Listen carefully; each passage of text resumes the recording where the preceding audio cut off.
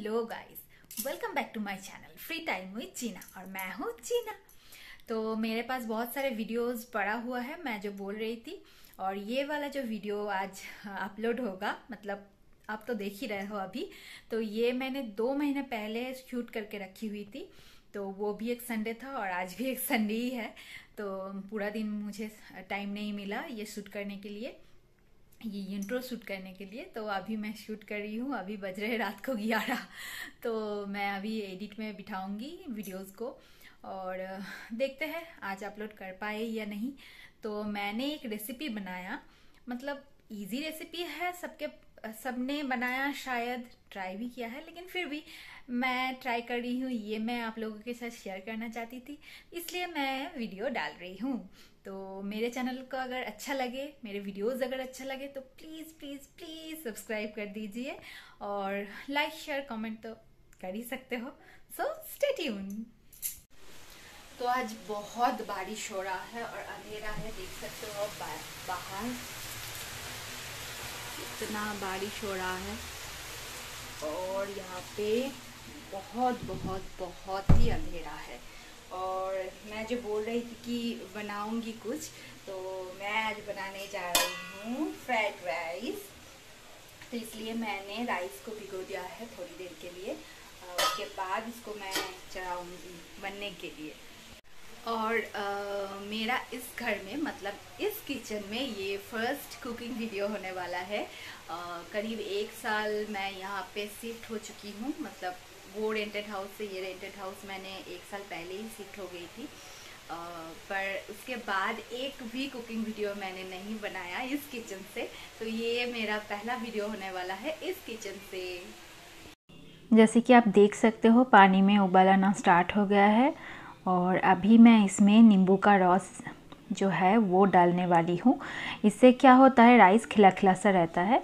और मैंने ये, मेरे पिछले कई वीडियोस में भी बोला है, आप वाइट ऑयल भी डाल सकते हो, लेकिन मुझे वाइट ऑयल से ज़्यादा नींबू का ही पसंद है। तो मैं ये डालती हूँ। तो नींबू का रस के बाद मैं अभी डालने जा रही हूँ यहाँ पे राइस जो मैंने पहले से भिगो के रखा हुआ है। मतलब थर्टी मिनट तक मैंने इसको भिगोया। अभी मैं इसमें डालने वाली हूँ। तो धीरे धीरे से राइस डाल रही हूँ मैं अभी।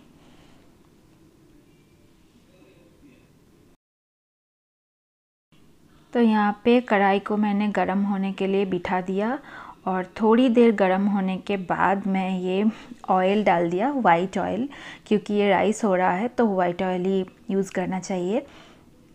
तो हमेशा क्या करना, कढ़ाई को थोड़ा गर्म होने के बाद ही ऑयल डालना और ऑयल भी थोड़ा थोड़ा सा गर्म होने के बाद ऐसे स्पैचुला या फिर जो बंगाली में हम बोलते हैं खूंती तो इससे आसपास फैला लेना। तो जो भी आप डालोगे, इसके बाद तो वो चिपकेगा नहीं। तो मैं अभी गरम मसाला डाल दिया इसमें। इलायची, लौंग और मेरे पास कार्डमम नहीं था मतलब सॉरी सिनेमन नहीं था तो मैं सब गड़बड़ कर रही हूँ। तो इसलिए मैंने इलायची और लौंग ही डाला। ये फट रहा है अभी। तो मैं अब इसमें डालने वाली हूँ प्याज थोड़ी थोड़ी दो मीडियम साइज़ का प्याज मैंने कट के रखी हुई थी तो वो मैंने डाल दिया।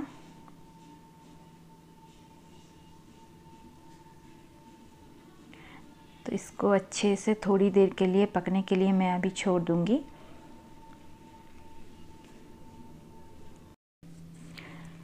अब मैं इसमें डालने वाली हूँ थोड़ा सा अदरक का पेस्ट। मैंने चिकन मैरिनेशन के टाइम थोड़ा बहुत डाला था मतलब डाली थी, और और अभी भी मैं थोड़ा सा ही डाल रही हूँ इसके अंदर, और इन दोनों को अच्छे से मिला के थोड़ी देर के लिए फिर से पकने के लिए मैं छोड़ दूँगी।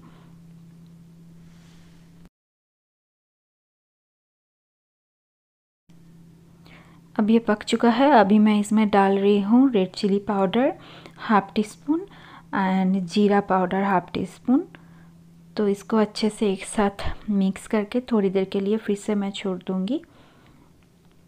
तो अभी इसे मैं मिक्स कर रही हूँ और मिक्स करने के बाद थोड़ी देर के लिए फिर से इसको पकने के लिए छोड़ दूँगी मैं।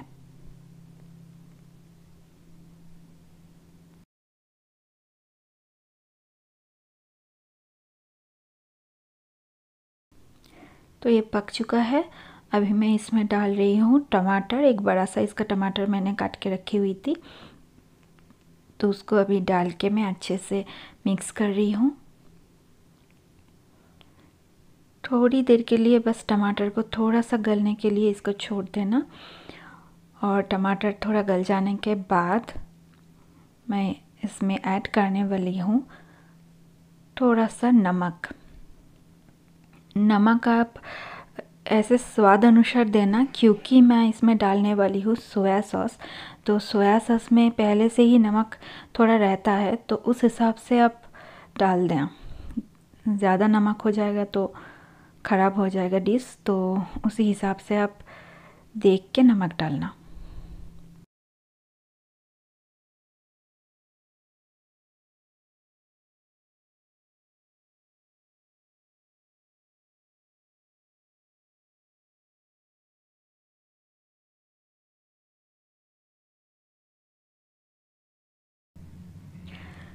ये मसाला तो पक चुका है। मैं अभी इसमें डालने वाली हूँ वेजीज, जो कि है कैप्सिकम, बीन्स एंड गाजर।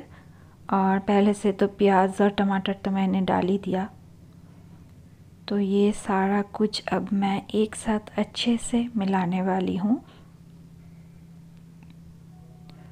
तो एक साथ थोड़ी देर के लिए मिक्स करने के बाद मैंने इसको पकने के लिए छोड़ दूँगी थोड़ी देर के लिए।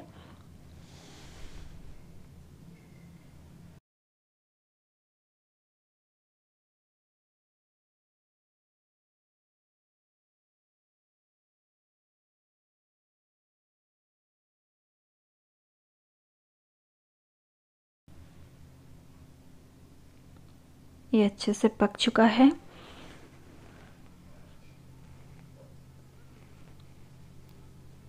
अभी मैं डालूँगी, पहले से भिगोया हुआ काजू और किशमिश। थोड़ी काजू मैं पास रख रही हूँ, क्योंकि मुझे एक चिकन का भी प्रिपरेशन बनाना है कर रहा है। तो अभी ये काजू को मैंने हाफ़ कर करके यहाँ पे डाल रही हूँ।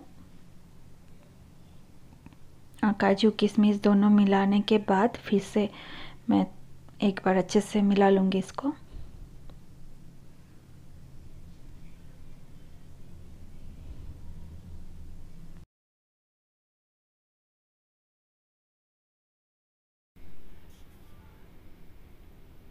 तो फाइनली अभी मैं इसमें डालने जा रही हूँ राइस जो कि मैंने पहले से ही छान के रखी हुई हूँ। वो मैंने दिखाना भूल गया। तो हल्के हल्के हाथों से ये राइस को इसमें मैं डाल रही हूँ ताकि राइस ही गल ना जाए। तो अच्छे से मैं राइस को चारों तरफ़ फैला रही हूँ। और इसमें टेस्ट के अकॉर्डिंग नमक और थोड़ा सा शुगर मैंने डाला। और दो से तीन चम्मच अच्छे से इसके अंदर घी मिला देना। मैंने दो चम्मच ही लिया मतलब टेबल स्पून नहीं टी स्पून लिया था मैंने एक, और अच्छे से इसको मिक्स करना। तो ये बन गया हमारा कुछ अलग तरीके का फ्राइड राइस मतलब जनरली हम लोग इतना मसाले के साथ तो फ्राइड राइस खाते नहीं हैं। तो ये मैंने एक ट्राई किया तो ज़रूर बताना मुझे कमेंट करके कि ये वाला फ्राइड राइस आपको कैसा लगा। और ओबियसली ट्राई करने के बाद बताना।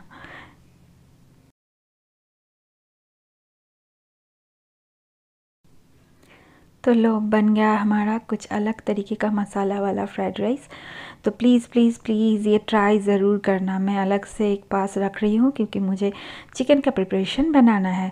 वो आने वाला है नेक्स्ट वीडियो में।